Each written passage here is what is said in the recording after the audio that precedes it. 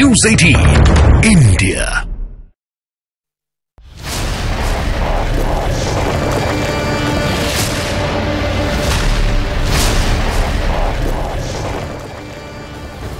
नमस्कार, आप देख रहे हैं न्यूज़ एटीन इंडिया मैं हूँ आपके साथ सपना शुक्ला। बुलेटिन की शुरुआत, बड़ी खबर के साथ बंगाल के संदेश खाली। से एक खबर, जहाँ एक दिन पहले बीजेपी के छह सदस्यों के दल को संदेश खाली जाने से रोके जाने पर सुप्रीम कोर्ट जाने की अब तैयारी है बीजेपी की। बीजेपी राष्ट्रपति से भी मिलने वाली है और संदेश खाली के जो मामले हैं वो राष्ट्रपति के सामने रखेगी।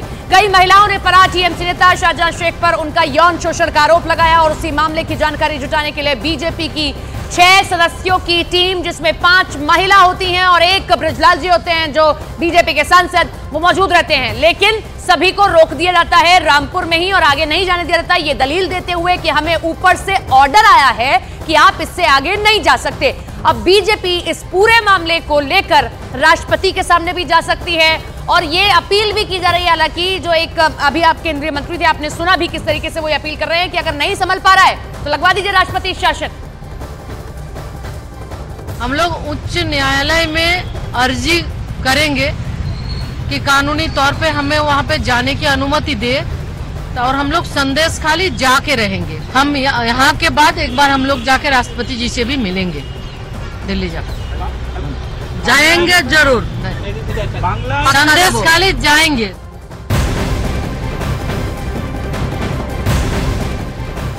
और इन सब के बीच बड़ी खबर ये कि केंद्रीय मंत्री निश्चित प्रमाणिक ने ममता सरकार के ऊपर बड़ा बयान दे दिया है। उन्होंने बंगाल सरकार को आड़े हाथ लेते हुए ये कहा कि अगर ममता बनर्जी से बंगाल की कानून व्यवस्था नहीं संभल रही है तो फिर वो केंद्र से मदद मांगे। केंद्र उनका साथ ज़रूर देगा। ये बड़ी खबर इस वक्त की आपको बता रहे निश्चित प्रमाणिक ममता बनर्जी के ऊपर करारा हमला बोलते हुए दिखाई दिए। साफ़ साफ़ उन्होंने कहा कि ममता बनर्जी अगर बंगाल को संभाल नहीं पा रही है तो फिर केंद्र से मदद क्यों नहीं मांगती है? ममता बनर्जी से ये संभाला नहीं जाता। तो ममता बनर्जी एक बार अगर बोलेंगे कि उनसे संभाला नहीं जा रहा है तो होम मिनिस्ट्री उनको पूरी तरह से सहायता करने के लिए तैयार है। सेंट्रल फोर्स पूरी तरह से तैयार है। और इस सिचुएशन को डैमेज कंट्रोल करने के लिए, जो है केंद्र सरकार पूरी तरह से राज्य के साथ खड़ा रहेगा। और अगर शेख शाहजहां और ये जो सभी दुष्कृति है, इनको ढूँढने में भी उनको केंद्र का मदद चाहिए, वो भी केंद्र करने के लिए प्रस्तुत है। राजनीतिक बयान आप सुन ही रहे हैं। हमारे साथ हमारी सहयोगी आशिका लाइव जुड़ रहे हैं, उनका कर लेते हैं। आशिका, राजनीति छोड़ दीजिए एक तरफ़। ये बताइए कि महिलाओं की जो बात सामने आई थी, उसमें एफआईआर तो कम से कम हो ही जानी चाहिए थी, जो सीधे सीधे सरकार ने ये कह दिया कि नहीं नहीं कोई ऐसी दलील नहीं है, हम एफआईआर नहीं कर सकते, जबकि ऐसे मामले में पहले पीड़िता की सुनी जाती है और उसके बाद जाँच शुरू कर दी जाती है। देखिए, आरोप गंभीर हैं और इसे लेकर के सियासी घटनाक्रम तो आगे चल रहा है, लेकिन प्रशासनिक कुछ भी नहीं कदम उठाए जा रहे हैं फ़िलहाल। और यही गुस्से का कारण भी है महिलाओं के। देखिए, घर के भीतर जो महिलाएँ रहती हैं, वो बाहर निकल करके अगर हाथ में डंडे और झाड़ू लेकर के विरोध प्रदर्शन करती हैं तो ये अपने आप में बड़ी घटना है और इसे लेकर के इस मामले में देखिए, सिर्फ़ एक गिरफ्तारी हुई है, वो भी तब जब उत्तम सरदार को टीएमसी ने निकाल दिया, उसके बाद पुलिस ने उसकी गिरफ्तारी की है। और जो प्रमुख आरोपी है, शेख शाहजहां, जो कि ईडी की टीम पर हमले का मास्टरमाइंड है, वो कहाँ छुपा है, ये किसी को मालूम नहीं है। ये पुलिस भी नहीं बता पा रही है। तो नाराज़गी जिनके खिलाफ है, वो एक तरफ़ और दूसरी तरफ़ सियासत इसे लेकर के चल रही है। ममता बनर्जी ने आरोप सीधे सीधे बीजेपी पर, आरएसएस पर मर दिया है। बिल्कुल, और ये बहुत बड़ी नाकामी भी है आशिका। एक तरफ़ तो जो आरोपी है, उसका पता नहीं लगाया जा सका अभी तक। कहाँ छुपा हुआ है, ये कोई नहीं जानता है। और वहीं दूसरी तरफ़ जो पीड़िता है, उनकी आवाज़ को दबाया जा रहा है। बहुत बड़ी नाकामी है। इसके साथ आशिका, ये भी बताइए कि अब तो सुप्रीम कोर्ट जाने की तैयारी बीजेपी कर रही है। इसे लेकर क्या जानकारी? देखिए, ये बात निकली है तो दूर तलक जाएगी वाला मामला है, क्योंकि एक तरफ़ यहाँ हाईकोर्ट का दरवाज़ा खटखटा चुके हैं शुभेंदु अधिकारी। संदेश खाली जाने के लिए वो अनुमति मांग चुके हैं। दूसरी तरफ़ सुप्रीम कोर्ट में एक जनहित याचिका दायर हो चुकी है और अब भाजपा की ये जो कमेटी, जिसे कल नहीं जाने दिया गया, रोक दिया गया। और कई बातें, देखिए, एक बार ये कहा गया कि सिर्फ़ महिला सांसदों को आगे जाने दीजिए, फिर ये कहा गया कि नहीं, सिर्फ़ दो केंद्रीय मंत्रियों को जाने दीजिए तो भी पुलिस नहीं मानी। जब अंततः ये कहा गया कि वहाँ से महिलाओं को आने दीजिए, हमसे मिलने दीजिए तो भी पुलिस नहीं मानी। अब ये मामला सुप्रीम कोर्ट में पहुंचेगा और ज़ाहिर है कि ये जो मामला है, इसे बड़ा, बड़े स्तर पर भाजपा की तरफ़ से उठाया जाएगा। बिल्कुल, आशिका, यही बात हजम नहीं होती कि प्रशासन अब तक शाहजहां शेख के कॉलर तक नहीं पहुँच पाया जब इतनी महिलाएँ आवाज़ उठा रही हैं। ईडी की टीम पहुँचती है पथराव कर जाते हैं। बहरहाल आगे बढ़ते हैं। संदेश काली का दौरा करने वाले राष्ट्रीय अनुसूचित जाति आयोग। वहाँ के हालात देखने के बाद बंगाल में राष्ट्रपति शासन लगाने की सिफारिश तक कर चुका है। कैसा आपका एक्सपीरियंस रहा जब आप दौरे पर गए? देखिए बहुत ही बुरा एक्सपीरियंस है जो सोच भी नहीं सकता था वो पश्चिम बंगाल में होता है।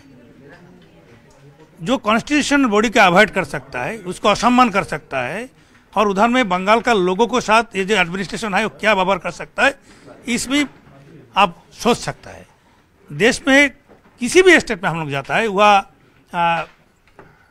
बहुत सारे इसका, दल का सरकार होता है। किसी भी स्टेट में अनुसूचित जाति कमीशन जाने के बाद उसका डीएम एसपी कंपलसरी रहता है। बंगाल में लास्ट कम से कम six rape and murder case में मैंने स्पॉट विज़िट किया, किसी भी जगह में डीएम एसपी प्रेजेंट नहीं हुआ है। ये प्रोटोकॉल में होता है। और काल जब chief secretary home secretary DGP सबको मैंने लेटर लिख के हम लोग उधर गया था। बार बार वो लोग अपोज कर रहे हैं आप मात आ जाइए इधर का हाल खराब है। मैंने बोला हाल खराब है तो आप लिख के दे दीजिए। हम राष्ट्रपति से मांगेंगे जब हाल खराब है आप राष्ट्रपति शासन दे दीजिए ठीक कर देगा हाल। वो भी नहीं लिख रहा है। लेकिन आप जब वो नहीं लिख रहे तो हम तो आएँगे। तो हम पहुँच गया और हम लोग को जानकारी था वो लोग हमारे लिए कुछ व्यवस्था नहीं करेगा। तो हम लोग अपना व्यवस्था करके हम लोग दस गाड़ी पूरा होटल रूम बुकिंग करके हम लोग पूरा टीम लेके कमीशन जगह पहुँच गया था। बहुत कोशिश किया था इधर उधर घुमाने का लेकिन हमारा सोर्स था और उसी सोर्स लेके हम लोग लोगों के पास पहुँच गया और लोगों से जो बातचीत सुना वो बहुत भयंकर है।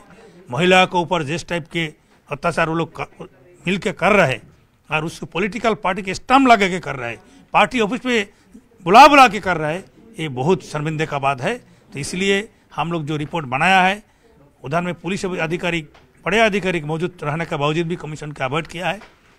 उसके बाद हमारा पास कोई रास्ता नहीं था। जो रिपोर्ट दी है आपने मुलाकात करके रिपोर्ट दी उस रिपोर्ट में मुख्य सिफारिश क्या है?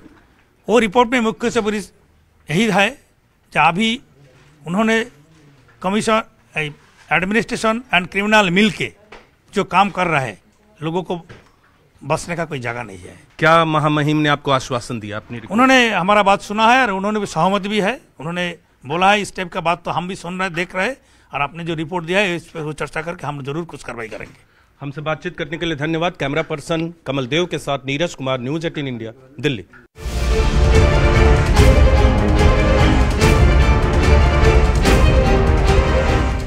की बहुत बड़ी खबर आपको बताएँ, राहुल गांधी की भारत जोड़ो न्याय यात्रा मध्य प्रदेश पहुँचती। उसके पहले मध्य प्रदेश के पूर्व मुख्यमंत्री कमलनाथ के बीजेपी में शामिल होने की अटकलें, अब और तेज हो चुकी हैं। चर्चा यही है कि वो अपने सांसद बेटे नकुलनाथ के साथ। बीजेपी में शामिल हो सकते हैं। कमलनाथ ने अपने आज के पहले से तय सारे कार्यक्रम रद्द कर दिए हैं। सूत्र ये बता रहे हैं कि वो आज भोपाल आकर यहाँ से फिर दिल्ली के लिए सीधा रवाना हो जाएँगे। और ऐसे वक्त में जबकि दिल्ली में बीजेपी के दो दिन की राष्ट्रीय अधिवेशन चल रहा है, कमलनाथ के बीजेपी में शामिल होने की आजकलों से सियासी बाज़ार अब और गर्म हो चुका है। बेटे के साथ वो शामिल हो सकते हैं। बीजेपी में इन चर्चाओं में तड़का लगाने का काम खुद मध्य प्रदेश बीजेपी के अध्यक्ष वी शर्मा ने कर दिया है। जब उनसे पूछा गया कि क्या कमलनाथ बीजेपी में आ रहे हैं तो फिर उनका कहना था कि बीजेपी के नेतृत्व पर यकीन करने वाले लोगों के लिए पार्टी के दरवाजे खुले हैं। बड़ी बात इन सब के बीच कि नकुल नाथ उन्होंने ट्विटर के ऊपर सोशल नेटवर्किंग साइट एक्स के ऊपर, वो जो कांग्रेस नेता लिखा हुआ था, उसे हटा दिया है। अब ये तो कमलनाथ जी से आपको ही पूछना पड़ेगा।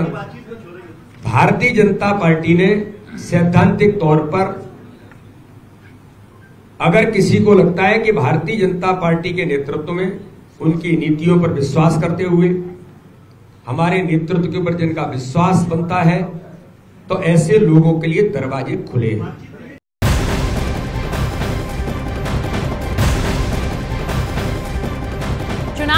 मुहाने पर खड़े हैं और अगर कमलनाथ भी बीजेपी चले जाते हैं तो ये कांग्रेस के लिए एक बहुत बड़ा झटका होगा इन सबके बीच में कांग्रेस के नेता दिग्विजय सिंह ने कमलनाथ के बीजेपी में शामिल होने की चर्चाओं को महज अफवाह बता दिया है। दिग्विजय सिंह ने कहा कि कमलनाथ के बीजेपी में जाने की उम्मीद ही नहीं है। उनसे कल ही मेरी बातचीत हुई। दिग्विजय सिंह ने कहा कि जिस शख्स ने नेहरू परिवार के साथ खड़े होकर लड़ाई लड़ी है, ऐसा शख्स सोनिया गांधी और इंदिरा गांधी का परिवार नहीं छोड़ सकता है। ये आज की बहुत बड़ी खबर। बहुत बड़ी राजनीतिक हलचल, क्योंकि अब ये शक इसलिए गहरा रहा है कि वीडी शर्मा क्या कह रहे हैं, कार्यक्रमों को रद्द करना, दिल्ली आना किशोर इशारा?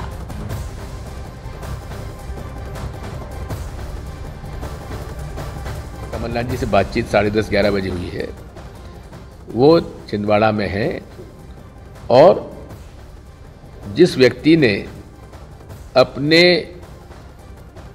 राजनीतिक जीवन की शुरुआत नेहरू गांधी परिवार के साथ उनके पीछे साथ में खड़े होकर उस समय लड़ी थी, जब पूरी जनता पार्टी उस केंद्र की सरकार इंदिरा जी को जेल भेज रही थी।